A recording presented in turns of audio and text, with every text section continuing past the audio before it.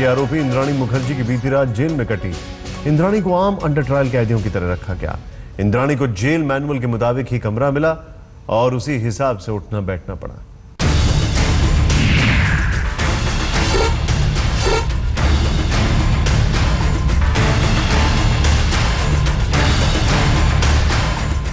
Corporate company की CEO से सलाखों के पीछे।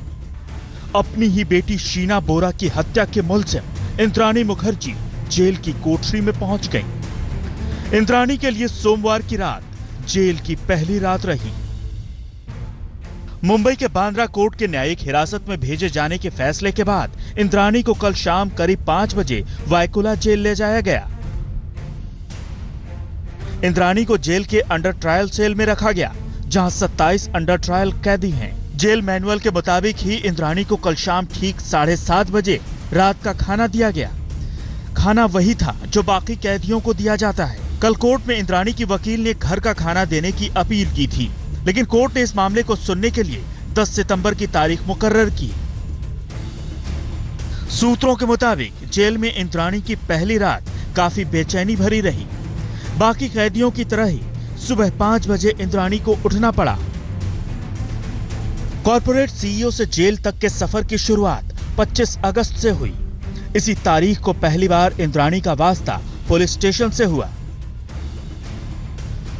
बेटी के मर्डर के आरोप में 25 अगस्त को ही इंद्राणी को गिरफ़्तार किया गया।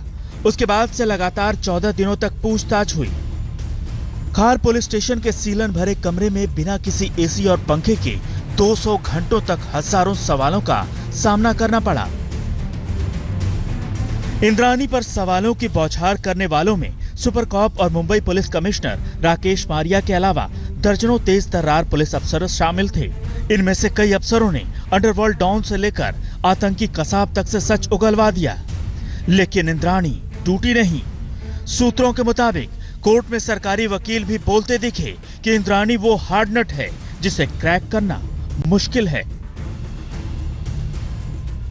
चौदह दिनों की हिरासत में मुंबई पुलिस ने इंद्राणी से अकेले में पूछताछ की।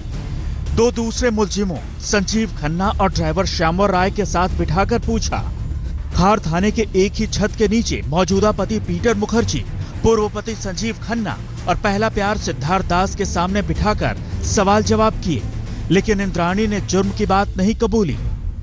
25 अगस्त से लेकर 7 सितंबर की दोपहर तक इंद्राणी एक ही रट लगाती रही कि शीना का कत्ल मैंने नहीं किया है। कहते हैं, इस दुनिया में एक माँ ही ऐसी होती है जिसका दिल मोम की तरह होता है। लेकिन उस माँ को क्या कहेंगे, जो बिल्कुल किसी दूसरी मिट्टी की बनी है? मुंबई पुलिस की माने तो अपनी बेटी शीना बोरा के कत्ल की मुलजिम इंद्रानी मुखर्जी कुछ ऐसी ही है। वो अलग मिट्टी की बनी है। तभी तो 14 दिनों के पुलिस रिमांड और तकरीबन 250 घंटे की लंबी पूछताछ के बावजूद पुलिस उससे जाँच में सहयोग करवा पाना तो दूर, गुनाह कबूल करवा पाने में भी नाकाम रही है। इंद्राणी तो नहीं टूटी इकबाल जुर्म नहीं किया, लेकिन पुलिस को 90 दिनों के अंदर अदालत में चार्जशीट दाखिल करनी पड़ेगी। बतौर मुंबई पुलिस कमिश्नर 30 सितंबर राकेश मारिया का आखिरी दिन है। अब देखना यह होगा कि क्या मुंबई पुलिस 30 सितंबर से पहले high profile Sheena murder case का चार्जशीट दाखिल करती है, या फिर नए पुलिस कमिश्नर की अगुवाई में कोर्ट का सामना करती है। वीरेन गुणावत और विद्या के साथ सुप्रतिम बैनर्जी। मुंबई, आज तक। मुखर्जी दंपति की सोमवार शाम बड़ी अजीब रही। पत्नी इंद्राणी मुखर्जी जेल की कोठरी में थी तो पति पीटर मुखर्जी थाने में। कल रात पीटर से साढ़े सात घंटे पूछताछ हुई। सूत्रों के मुताबिक पुलिस कमिश्नर राकेश मारिया ने भी पीटर से सवाल किए।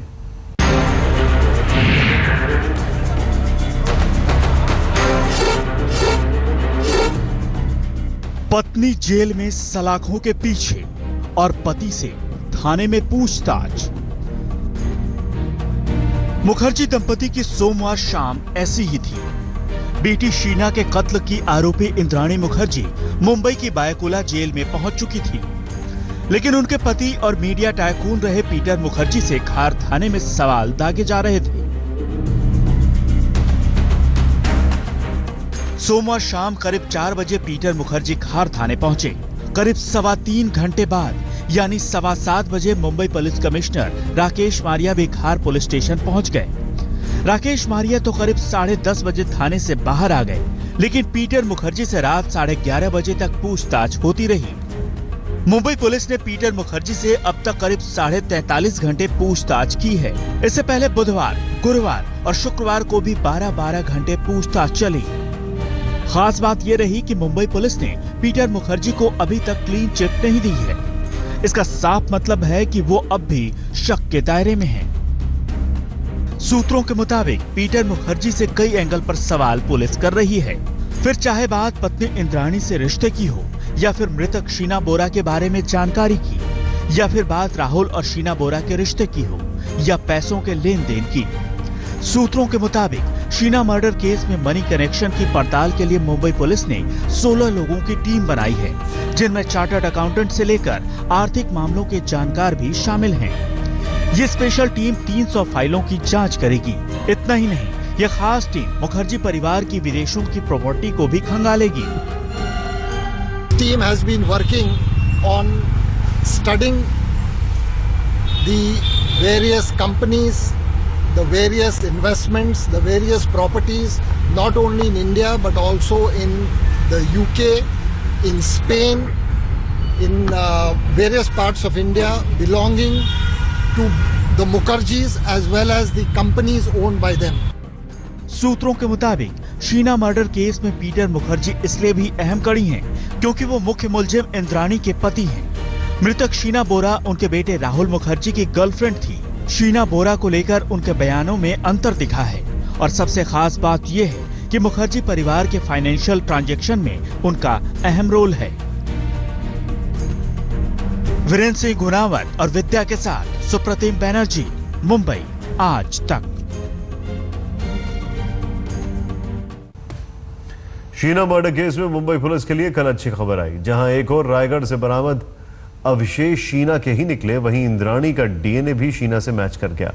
इसके अलावा पुलिस ने कल शीना की ज्वेलरी और मुलजिम संजीव खन्ना के जूते बरामद कर लिए। अपनी बेटी के कत्ल के आरोप में जेल की सलाखों के पीछे पहुँच गई इंद्राणी मुखर्जी की ये नई तस्वीर। है उदास, निराश, घुटी हुई। सूत्रों के मुताबिक इंद्राणी की ये तस्वीर उस वक्त की है, जब उसे पुलिस मेडिकल टेस्ट के लिए ले गई थी। इंद्राणी की ये उदासी और बढ़ने वाली है, क्योंकि कलीना लैब से पुलिस के लिए राहत की खबर ये आई कि शीना और इंद्राणी का डीएनए सैंपल मैच हो गया है। पुलिस ने रायगढ़ जंगल से मिले शव को शीना का शव करार दिया था और डीएनए सैंपल जाँच के बाद पुलिस के दावे पर मुहर लग गई है। DNA report states that it is conclusively proved that the that Indrani, the accused Indrani Mukherjee, is the biological mother of the deceased. इस बीच 14 दिन तक पुलिस रिमांड में रहने के बाद सोमवार को इंद्राणी और उसके साथी आरोपी ड्राइवर शाम्बर को बांद्रा कोर्ट में पेश किया गया आप लोगों को कोई दिक्कत तो नहीं हुई नहीं नहीं क्या आपको इंद्राणी और शामवर से पूछताछ करनी है? हमारी पूछताछ पूरी हो चुकी है। तो फिर इंद्राणी और शामवर को न्यायिक हिरासत में भेजा जाए। 21 सितंबर तक दोनों न्यायिक हिरासत में रहेंगे। हम जेल में इंद्राणी को घर का खाना भेजना चाहते हैं। इस पर 10 सितंबर की सुनवाई में बात होगी। अब कोर्ट में नज़र इस बात पर पड़ी कि शीना हत्याकांड का एक और आरोपी संजीव खन्ना कहाँ है? संजीव के बारे में किसी ने पूछा? संजीव खन्ना को कोर्ट में क्यों नहीं लाया गया? संजीव को पुलिस कोलकाता ले गई है। तफ्तीश में पुलिस को संजीव की ज़रूरत है। दोनों आरोपियों के साथ संजीव को भी जेल भेज सकते थे। संजीव अभी दो दिन और रिमांड पर रह सकते हैं। देर रात करीब साढ़े बारह बजे संजीव खन्ना को कोलकाता से मुंबई लाया गया। मुंबई लैंड करते ही संजीव खन्ना को पहले मेडिकल जाँच के लिए भाभा अस्पताल ले जाया गया और फिर Bandra police station. Mumbai police आज संजीव खन्ना को कोर्ट में पेश करेगी। विद्या के साथ सुप्रतिम बैनर्जी, मुंबई, आज तक। हो गया एक ब्रेक का।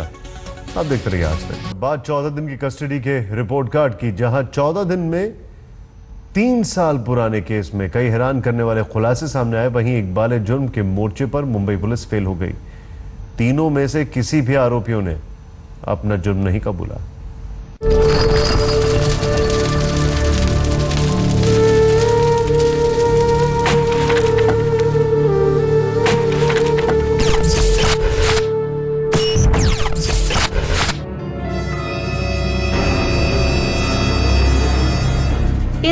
मुखर्जी, संजीव खन्ना और driver Shamvar Sheena murder case में यही तीनों मुलजिम हैं। मुंबई पुलिस ने तीनों को 14 दिनों तक कस्टडी में रखा। 14 दिनों तक तीनों से पूछताछ की। शीना के कत्ल की दूसरी कड़िया, पीटर, राहुल, विधि, सिद्धार्थ को सामने बिठाकर भी सवाल जवाब हुए। लेकिन बड़ा सवाल यही है कि इन 14 दिनों में मुंबई पुलिस किस मुकाम पर पहुँची? सबसे पहले बात मुंबई पुलिस की मुश्किलों की। पाँच मोर्चों पर मुंबई को कोई खास कामयाबी नहीं मिली। फिर चाहे वो कत्ल का मकसद हो या फिर कबूलनामा, इतने हाई प्रोफ़ाइल केस में मुंबई पुलिस एक अदक चश्मदीद के लिए भी तरस रही है। और तो और क्राइम और पैसे के लेन देन का मामला भी कुछ साबित नहीं हुआ है। ऊपर से मामला भी तीन साल पुराना है। चौदह दिनों की कस्टडी में मुंबई पुलिस तीनों आरोपियों से इकबाले जुर्म नहीं करवा पाई है। सूत्रों के मुताबिक, इंद्राणी लगातार कत्ल की बात को खारिज करती रही। उसका ड्राइवर शामवर कहता है कि वो तो बस कार चला रहा था। कत्ल इंद्राणी ने किया। वहीं संजीव खन्ना ने ये कहकर पल्ला झाड़ लिया कि वो तो कार में सो गया था। लेकिन ऐसा भी नहीं है कि 14 दिनों की कस्टडी रिपोर्ट सिर्फ़ नेगेटिव ही रही। कत्ल के तीन साल बाद भी मुंबई पुलिस ने 14 दिनों में कई सबूत जुटा लिए हैं। शीना के शव के अवशेष रायगढ़ से ढूंढ निकाला गया। शीना की खोपड़ी मिली, हड्डियों के टुकड़े मिले और इससे ये साबित भी हो गया कि ये शीना के ही अवशेष थे और शीना इंद्राणी की ही बेटी थी। इसके अलावा मुंबई पुलिस ने उस कार को भी ढूंढ निकाला, जो वारदात में शामिल थी। पुलिस की मेहनत का नतीजा था कि तीन साल पुराने मामले में तीनों आरोपियों के मोबाइल फ़ोन की फ्रीक्वेंसी मैच कर गई। इससे ये साबित हो गया कि 24 अप्रैल 2012 को कत्ल के दिन इंद्राणी, संजीव और शामवर एक ही दिशा की तरफ़ आगे बढ़ रहे थे। पुलिस के सामने कबूलनामे की कोर्ट में कोई खास अहमियत नहीं होती, लेकिन इस केस में सबसे कमज़ोर कड़ी है हत्या के मकसद का साफ़ न हो पाना।